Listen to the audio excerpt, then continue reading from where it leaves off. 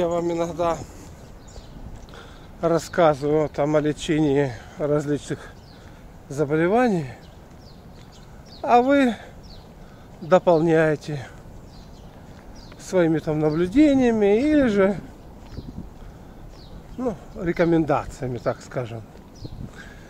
И вот я как раз говорил про лечение свещей. И было сказано, что можно добавить еще и там сок алоэ. Сок алоэ вообще-то обладает ранозаживляющими свойствами. Но это не тот случай. Понимаете, вот когда рана, ее просто надо заживить. Ничего там такого нету. Это одно. А когда свищ, который из глубины наружу выводит вот гной, там разное там содержание, алоэ туда не проникнет, и оно малоэффективно. А вот упаренная урина за счет того, что это получается концентрированный солевой раствор, который за счет силы осмоса, если мы там вот на ватку там нанесли, на турундочку, приложили к свищу, что он начинает делать?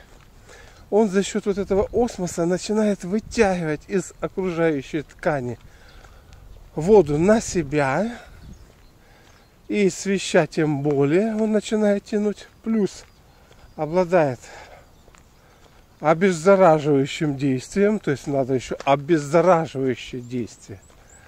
А алоэ этим не обладает в той мере, в которой мы там думаем.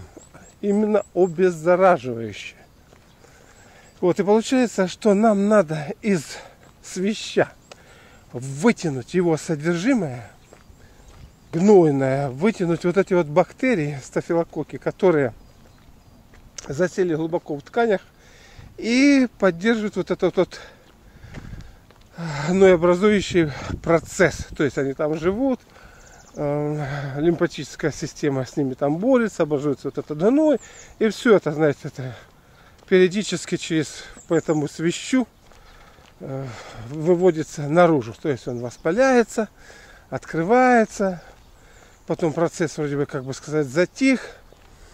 Но все это внутри идет, он опять повторяется. И так будем говорить до тех пор, пока у человека хватает жизненных сил – справиться с, с вот этим вот процессом.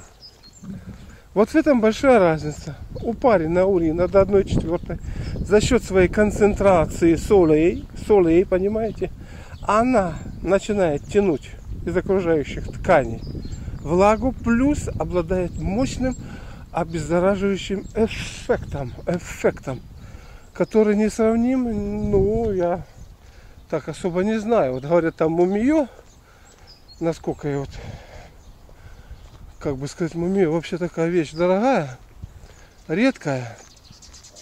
Ну, вроде бы как хорошо действует. Но тем не менее, я думаю, что упаренная урина до 1 четвертой.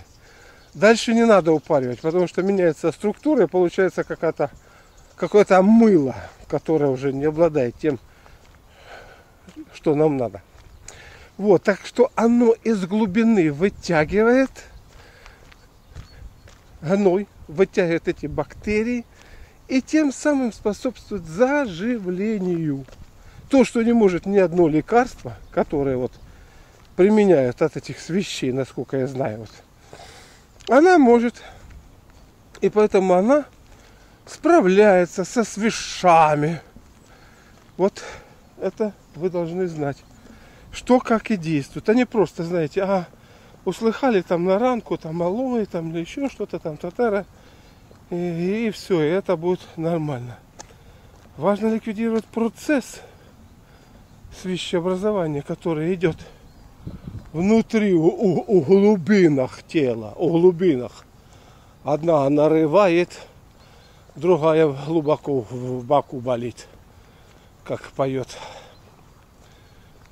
Леонид Утесов. Ну вот, знаете такие особенности. И в случае чего она вам здорово поможет. Особенно, знаете, когда вот ничего не будет, а раны существенные, гноящиеся. Это будет то, что надо. Знаете, что я автор многочисленных книг по естественному оздоровлению организма. Если вас какие-то книги заинтересуют и вы хотите их приобрести, пожалуйста, обращайтесь ко мне на мою электронную почту. Цены вас приятно удивят. Плюс моя бесплатная библиотека всегда открыта для вас.